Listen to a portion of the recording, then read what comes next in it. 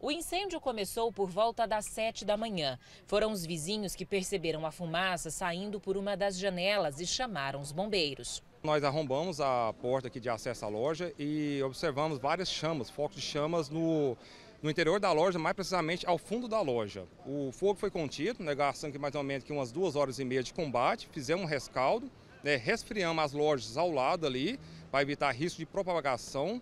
De acordo com informações do Corpo de Bombeiros, todas essas lojas aqui possuem uma espécie de subsolo sem nenhum tipo de ventilação. O fogo, inclusive, teria começado no subsolo dessa loja que vende peças para veículos. As lojas vizinhas, inclusive essa do lado direito aqui, vende bancos estofados para veículos. O risco do fogo ter passado para cá era muito grande. Inclusive começou a pegar fogo, mas aí os vizinhos conseguiram correr para cá e tirar principalmente os estofados que são altamente inflamáveis pneu, borracha, é, cama de ar, estofado, material de madeira de banco que desmontam aqui, materiais de plástico de combustível, né, tanque de combustível de caminhão também, de carro pequeno.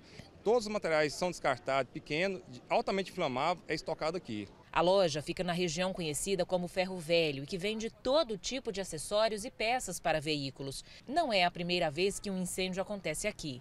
Nos próximos dias, uma perícia deve ser feita no local para avaliar se a loja tinha alvará de funcionamento e o que motivou o incêndio. Na perícia, eles vão pedir o SERCOM, né, se tem o SERCOM, se está em dia.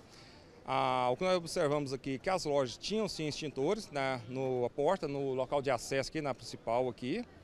Né? Então, essa aí vai ter feito a perícia, para ver se estava regular ou não.